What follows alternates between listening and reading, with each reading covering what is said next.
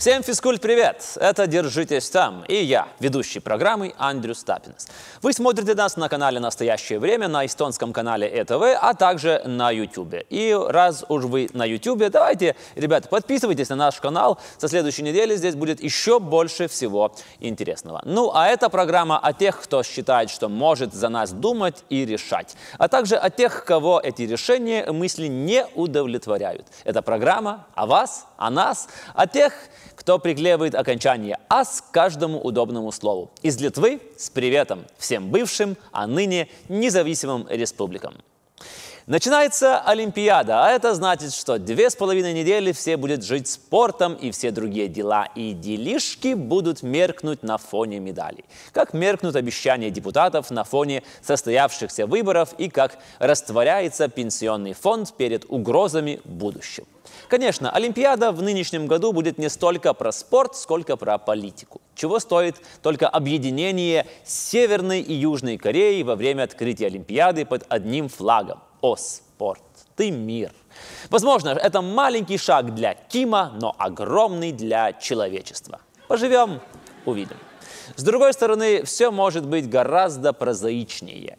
И руководство Северной Кореи отправило 150 человек на Олимпиаду с расчетом, что на обратном пути они смогут заскочить в дьюти-фри и привезти Киму французские духи и безакцизный алкоголь. И для полноты восприятия джентльменского набора я отмечу, что Олимпиада в Пхенджане побьет рекорды по презервативам. На каждого спортсмена в среднем полагается 37 презервативов на 17 дней Олимпиады. Тут даже если медали не завоюешь, все равно останешься довольным. К слову, о ваших и наших. Логичнее всего России было бы попроситься в состав украинской сборной, ну как скорее. И получилось бы, что Россия завоевала медали для Украины за Крым. Ну, хотя, конечно, это все фантазии и абсурд, как леопардовые меха Захаровой, как судебная система Чечни и как выборы Путина. Или по накатанной схеме Россия могла бы провести референдум в любой, в любой стране и выступить под понравившимся флагом. Ну, а что в итоге? Сборная России не едет на Олимпиаду в Пхенджан, но спортсмены из России будут принимать участие. Пусть думают, что мы спортсмены. За мной! Состоялись и официальные проводы спортсменов, на которых президент России расставил все точки над «и» в допинговых скандалах, взяв вину за допинговые скандалы на себя. Простите нас за то, что мы не смогли вас от этого оградить. В принципе, эта фраза Путина идеально подходит практически ко всему, что происходит в России. Берете любую, любую новость и вуаля – Простите нас, что мы не смогли вас от этого оградить. Простите нас, что мы не смогли вас от этого оградить. Простите нас, что мы не смогли вас от этого оградить. Простите нас, что мы не смогли вас от этого оградить. Простите нас, что мы не смогли вас от этого оградить. Ну и завершение темы. В Волгоградской области во время празднования 75-й годовщины Сталинградской битвы детей из детского сада Лукоморье поставили в снегу на колени, чтобы выложить их телами число 75. Ну, даже не, не знаю, что тут еще и добавить.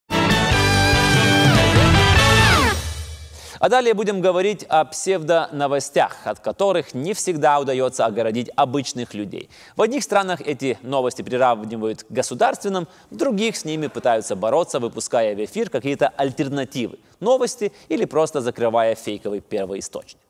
На официальном сайте Ватикана было опубликовано послание Папы Римского Франциска, которое он посвятил как раз фейковым новостям. В нем говорится, что первым в истории ложную информацию распространил змей-искуситель, убедивший Еву сорвать плод с древа познания в райском саду. А уж потом этому научились все остальные и применяют это на каналах государственного ориентирования. По мнению Святого Престола, змей-искуситель стал причиной изгнания Адама и Евы из рая. Змей, змей, а не женщина.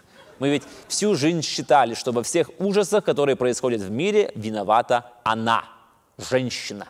Даже в песнях Ольги Бузовой виновницей считают ее, Ольгу Бузову, то есть женщину ведь нет.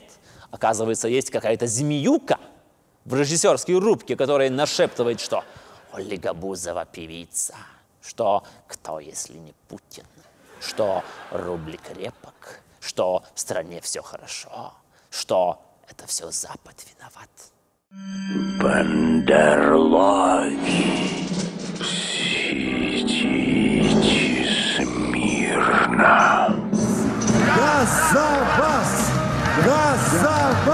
Спасибо.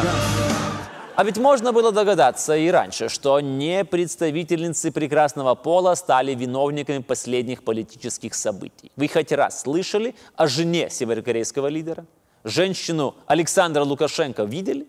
Даже тот, которого в России на четвертый сезон продлевают как сериал, и тот без женщины. Ну, то-то и оно. Ну и далее. В очередной раз мы с вами поговорим о мартовских решениях россиян. О выборах. Складывается впечатление, что девиз предвыборной кампании Путина «Будь проще, и народ к тебе потянется, мужик». Правда, отмечу, что весь народ на встрече с главным кандидатом не пустят. Ну, только доверенные лица могут насладиться искренними речами того, за кого они держатся и других призывают. Кто стоит в линейку в ряд? Это путинцев отряд. Среди доверенных лиц вы не заметите ни одного лица, недовольного жизнью. Все счастливы, сыты, успешны, популярны и Петросян. Юмористов среди доверенных лиц много, однако смех в зале смог вызвать только актер Владимир Машков, который сыграл главную роль в фильме «Движение вверх». «Вам спасибо большое за фильм», — сказал Владимир, который президент. Владимир, который актер, удивился и обрадовался, что президент сходил на премьеру, хотя информации об эвакуации, как перед инаугурацией, не было. Кинотеатры на спецсеансы не закрывали, никого из залов не удаляли. Я никуда не ходил, я флешку включил, я тоже современный Уже украли? флешку могу, да, включить. Не, не украли. Далее посмотри. А, хорошо. И вот это очередная фраза, которой можно оправдываться за свои грехи. И на тонны денег в карманах чиновников мы тоже просто смотрим. Почему сразу украли? Коррупционные митинги? А это мы просто смотрим. Кто-то другой украл. Крым? А Крым мы взяли, чтобы посмотреть. Почему сразу украли? Ну почему сразу украли? Крым, Крым! Какой Крым? На, обыси. Обыщи, обыщи. Вон там, в левом кармане. Сиди. Доверенные лица главного кандидата – это тема для отдельного исследования. Чего стоит в этом списке хотя бы тысяча чертей, каналья и щенок? И все это в лице одного мушкетера из Питера. И режиссер самых духовных фильмов о России, и автор самых бездуховных песен. Актеры, певцы, танцоры, акробаты были там и главные весельчаки страны Петросян, и тот, у кого он свои шутки ворует, Масляков. И ни один из них не смог вспомнить ни одного анекдота про Путина. Ну вот заклинило, блин. Знаете ли вы анекдоты о Владимире Путине? Если у вас любимый, могли бы поделиться с нами. Да, безусловно, есть, но э, этот ряд анекдотов не очень приличный. Память, конечно, могла бы к ним вернуться, но, знаете, есть риск, что тогда вечными спутниками медийных товарищей были бы не телевизионные камеры, а те камеры, от которых не зарекаются. Но что получается, друзья? Путин доверяет только артистам, спортсменам и себе. Инженеры, врачи, дальнобойщики, учителя не были замечены на этом празднике жизни. И получается, что спокойная и уверенная жизнь может быть только у тех, кто рядом с властью. Рядом, рядом сказал, не лает, не кусается, на президента не бросается. Лапу первым подает, Лапу первым подает, волю нервам не дает. волю нервам не дает. Еще никто не замечал, чтобы хоть раз он зарычал.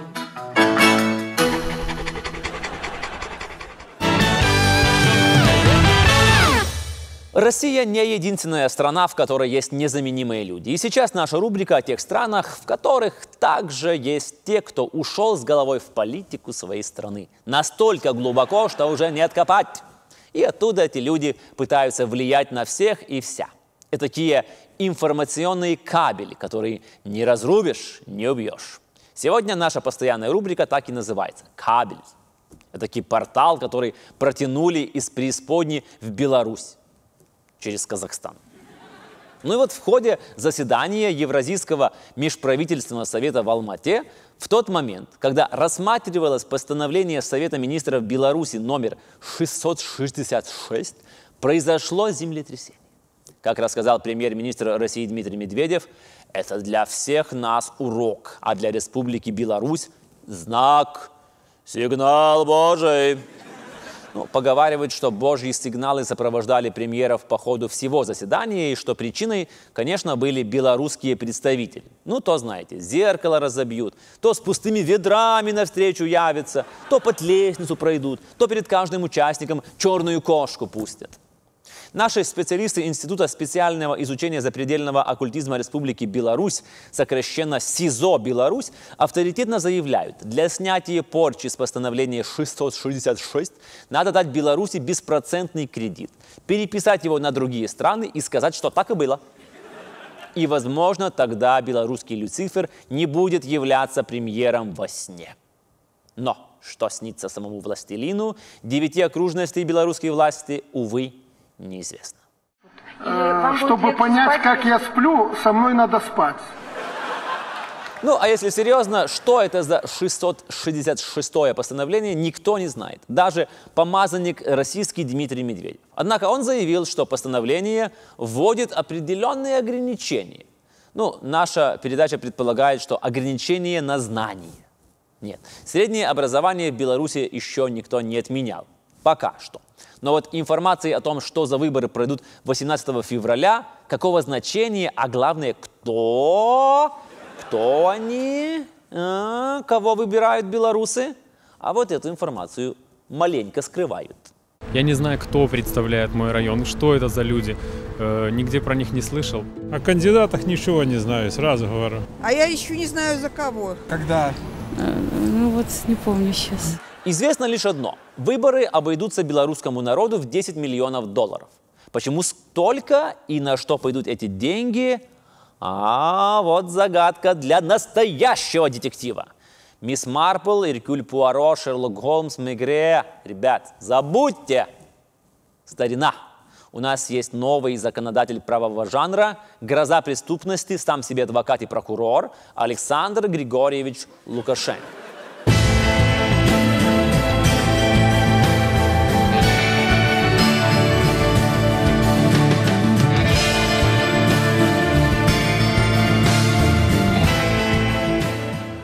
По словам Лукашенко, благодаря именно его личному участию удалось раскрыть преступление прошлых лет. Убийца, которого оправдал белорусский суд, скрывался в России. Как рассказал Мигре Шкловского района, он сел и сам, сам за сутки изучил дело.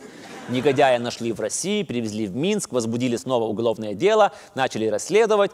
Ну и при том батька контролировал весь этот процесс. И оказалось, что задержанный убийца. Дедуктивный метод, элементарная логика, скрипка и морфий – вот что сопровождало великого Шерлока Холмса. А Александра Григорьевича сопровождает Николаша, урожай и всенародная любовь. Видимо, перечитал Григорьевич Акунина и Донцову. Ну, с кем не бывает. Страшно другое. А вдруг белорусский президент решит прочитать что-нибудь другое, не детектив, «Властелина колец», например. И тогда каждого белоруса обяжут отправиться в путешествие туда и обратно, то есть до Гродно и обратно. А войну шести областей сможет разрешить только кольцо всевластия в руках усатого волшебника, который будет кричать «Беларусь, моя прелесть!». Вы только подумайте, если он прочитает Дюну, то экономика в Беларуси вдруг будет держаться на червях. Если прочтет Стивенсона, то вся Беларусь будет искать клад – Страшно представить, что будет, если Лукашенко вдруг решит прочитать любовный женский роман. Ведь тогда Александр Григорьевич и экономику поднимет, и раскроет Беларусь для европейской интеграции. Но это пострашнее любого детектива. Жаль, что Конституция пока на полке пылится. Никто ее не читает. Ну а теперь время для нашей главной темы. Сегодня мы с вами поговорим о культуре и отдыхе и прогуляемся по паркам России. Постараемся подсчитать шишку, пенек и узнать, сколько представителей власти оставили на зиму себе любимым, а сколько отдали людям.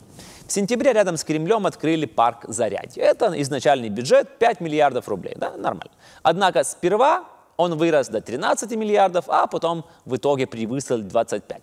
Практически лозунг перестройки. Усвоим 5 миллиардов за 25! К слову, великий и непревзойденный парк Зарядье вдвое дороже нью-йоркского Highline парка. Но, с другой стороны, всего в пять раз. Слабаки! Сочинский трамплин был круче, с 1 миллиарда до 8. И это чиновники еще соревновались, а просто поглощали бюджет. А тут вам, пожалуйста, новый парк. Еще лучше, еще масштабнее, еще богаче. И, конечно, с красивым и многообещающим названием «Остров мечты». Весь покрытый зеленью, абсолютно весь. Остров невезения в океане есть. Остров невезения в океане есть. Весь покрытый зеленью, абсолютно весь Банк ВТБ предоставит кредит в 37 миллиардов рублей на строительство острова мечты в Москве. И судя по названию парка, тут серьезно планируется импортозамещение таких офшоров, как Сейшели, Кипр и других островов, где любой чиновник может хранить свои кровные деньги и воплощать мечты. И тут все логично. Разве можно доверять российским банкам? А вклады? Вклады должны быть непременно в долларах и закопаны в парке. Ну, на крайняк в евро. Это тоже логично. Разве можно доверять рублю? Закопаешь там и все. Тематический и ландшафтный парки, городской променад и торгово-развлекательная зона – только первая часть проекта острова. Ее предварительная стоимость – 81 миллиард рублей. Итога 81 минус 37 кредита, и тут дилемма. Вот надо где-то раздобыть еще 44 миллиардика. Видимо, придется выкроить из бюджета. Но Россия страна богатая. Мы завидуем. Так что учителя и медики могут потерпеть. Остров мечты станет самым дорогим парком в мире, переплюнув даже сингапурский Gardens by the Bay с искусственными деревьями. То ли россиян обвешивают и строят хуже, то ли американцы, сингапурцы за меньшие деньги получают больше. Но не стоит удивляться. Знаменитый московский парк Горького покупает новогодние елки за 12 миллионов рублей и строит домики для лебедей по 4 миллиона рублей штука. Не шутка, а штука. Домик для лебедей по цене однушки в Москве. А еще ведь нужно купить самих лебедей, выкопать озеро, залить его водой. Того-то дел.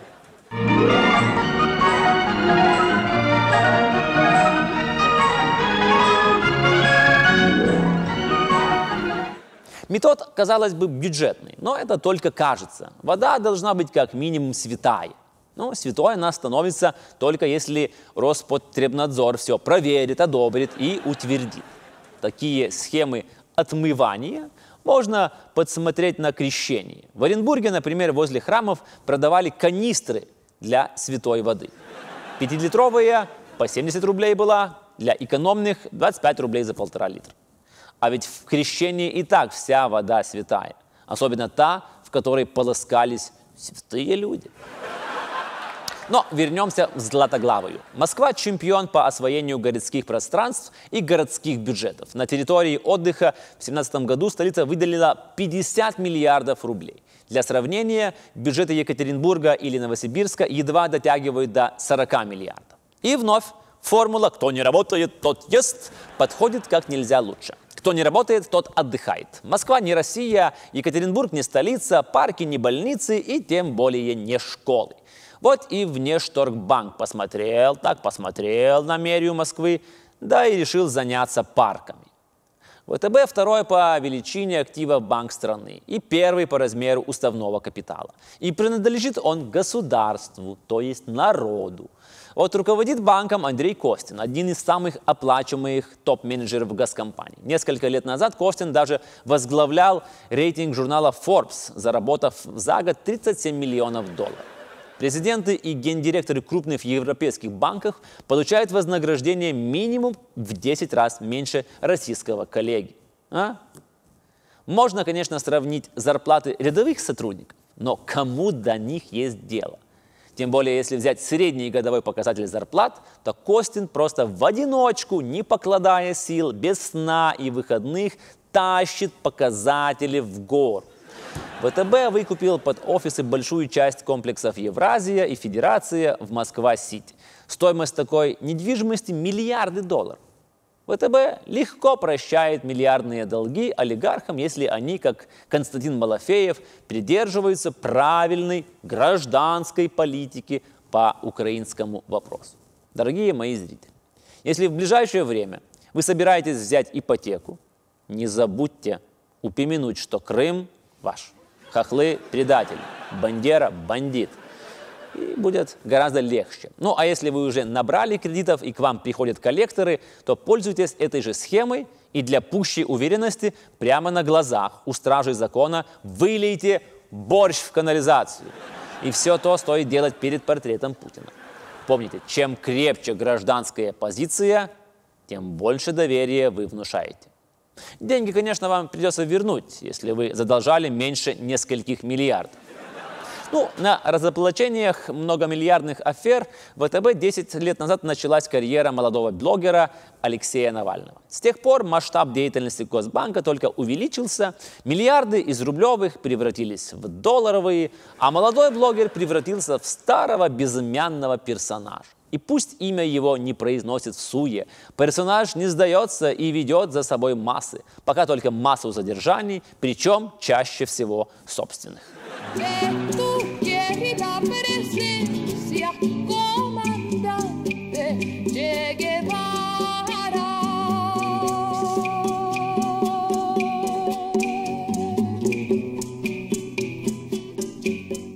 Давайте вернемся к тем, кого все в стране устраивает. В прошлом году на деньги ВТБ произошла одна из крупнейших приватизаций в истории России – 20% акций Роснефти. Да, да, только в России приватизация проходит на государственные деньги. Правда, ее приходится маскировать под сделки с участием швейцарских, катарских и китайских компаний. Сам ВТБ давно приватизирован людьми, управляющими Россией.